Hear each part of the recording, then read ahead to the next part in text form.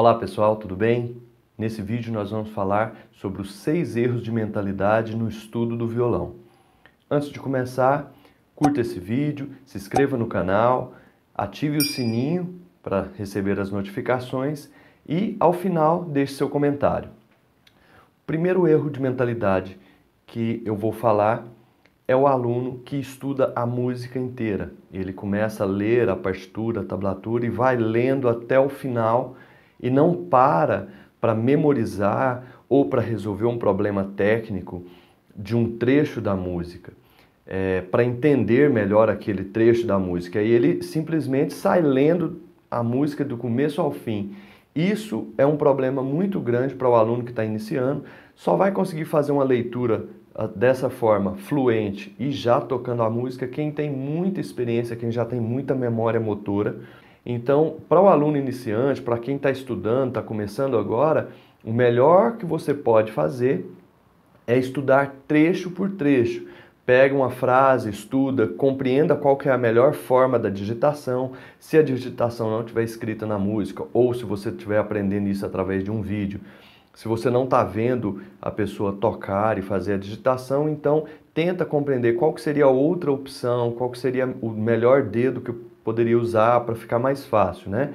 Para você compreender um pouco melhor essa mentalidade de estudar trecho a trecho, assista o meu vídeo da ensinando a música nesta rua. Você vai compreender como que é o processo que eu ensino meus alunos, né? Passo a passo, pedacinho por pedacinho. Quando ele chega para tocar a música, tudo fica muito mais fácil. Outro erro que acontece muito é estudar no andamento original da música o mais fácil é você estudar bem devagar, compreendendo qual é a melhor digitação de mão direita, de mão esquerda, qual é o ritmo correto, é, cada parte, para depois que você estiver tocando a música inteira, devagar, com a digitação correta, com facilidade em cada trecho, você conseguir chegar na, no andamento da música ou na velocidade, né? Na música a gente chama de andamento. Aí fica muito mais fácil se você fizer devagar para chegar na, no andamento original. Normalmente eu falo com os meus alunos que ele precisa aprender quatro etapas: aprender as notas, aprender a digitação, aprender o ritmo ou tocar a música no ritmo, né? Vamos entender dessa forma, para depois chegar no andamento. Vai ser muito difícil você já pular direto para a quarta etapa, que é o andamento original, sem que tenha passado por cada um desses três itens anterior com bastante tranquilidade. O item número 3 da nossa lista de erros é estudar sem um cronograma de estudo. Esse é muito frequente. Muitas vezes o aluno senta para estudar, até tem um bom tempo para estudar, mas ele simplesmente não sabe o que vai estudar, ele não tem uma lista do que ele tem que fazer.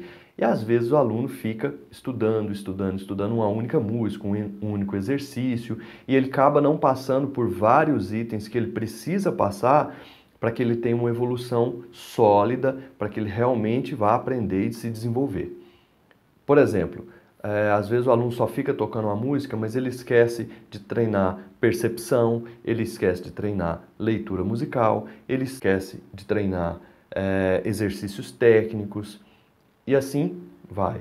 Então, a minha dica é: faça uma lista no dia anterior ou faça um cronograma de estudo para semana ou mensal, preferencialmente mensal, onde você vai ter uma ideia tanto do que você vai estudar, quanto ao final do mês você marcou cada item que você estudou e você vai olhar e vai ver o quanto você estudou de cada item, o que está estudando mais, o que está estudando menos. Isso vai te ajudar muito na sua evolução. O próximo item na nossa lista de erros é a falta de objetivo a longo prazo. Às vezes o aluno ele não tem uma noção muito clara, às vezes o estudante ele não tem muito a noção de onde ele vai chegar. Isso pode ser resolvido, pode ser ajudado por um professor, por um curso, por um livro que você está estudando. Então você vai estudar do começo ao fim do livro. Isso vai te ajudar bastante é, estudar pensando lá na frente é, vai te ajudar a resolver cada item aqui para chegar lá na frente em músicas mais complexas com muito mais facilidade. Então, é, estudar pensando onde a gente quer chegar, mas não antecipar, sim percorrer o caminho. Isso é muito importante na sua formação, é muito importante na sua forma de aprender.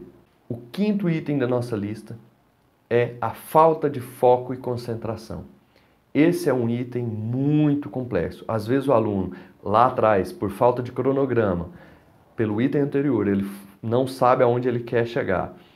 Ele começa a estudar e ele se perde no meio das coisas que ele precisa estudar. Hoje em dia, tantos vídeos na internet, tanto material que se tem, ele quer estudar muita coisa ao mesmo tempo e isso prejudica demais. Uma das técnicas que eu utilizo é a técnica de Pomodoro. Eu vou explicar rapidamente aí.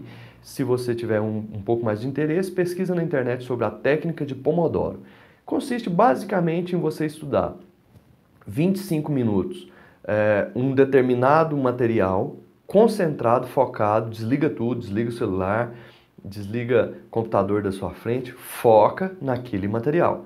25 minutos concentrado, 5 minutos de descanso outros 25 minutos em outro item. Aí você vai seguir o seu cronograma de estudo que a gente acabou de falar. Isso vai fazer com que você foque mais em cada ponto e vai crescendo e evoluindo cada ponto mais facilmente para que quando você chegue num todo, tudo se junte, fica mais fácil. Então, estudar com concentração, com foco, com atenção é um dos erros, a falta de foco, né? É um dos erros mais problemáticos para o aluno, para o estudante, de uma forma geral. Esse item que eu vou falar agora é o mais complexo, porque a nossa ansiedade de querer tocar bem nos leva a cometer esse erro, que é estudar música acima do seu nível técnico, acima do seu nível de compreensão. Normalmente a gente já vai direto naquela música, ah, aquela música é muito legal, eu quero tocar essa música mas às vezes você não está preparado. É, isso é um erro que já aconteceu comigo. Eu já fiz isso inúmeras vezes no começo, quando eu estava começando a estudar. Isso aconteceu comigo não só uma vez. Porém, depois que eu fui estudando, fui tendo aulas, eu fui compreendendo que isso é um erro terrível que atrapalhou e muito, não só na forma de tocar, não só na perca de tempo, como também na tensão na hora de tocar, vai tocar uma música muito complexa e aí você vai tocar tenso, com medo de errar, porque a música é difícil e isso é realmente complicado. A dica é sempre estudar por um método, por um livro e principalmente estude com um professor, numa escola. Não tem acesso? Tenha, busque um curso, não fique pegando aleatoriamente as coisas, porque normalmente quem está começando não tem um discernimento, ele não tem a noção de que aquilo é muito difícil para ele. Eu chamei de erros de mentalidade porque são erros de, da forma como você conduz o seu estudo e não erros técnicos mesmo, né? Que também é um vídeo, está na pauta para fazer um vídeo sobre erros técnicos, uh, erros especificamente no instrumento. Né? Então fica aqui a, a minha lista com os seis é, erros mais comuns de mentalidade e também as dicas para como solucionar esses é, erros e ficar muito mais fácil e divertido o seu aprendizado. Te convido a acessar o meu site adrianoassis.com.br ou o meu grupo do Telegram. Basta você pesquisar no Telegram violão Adriano Assis. Lá você vai ter acesso a várias aulas, vários vídeos, vários PDF, dicas. Fica aí o convite e até o próximo vídeo.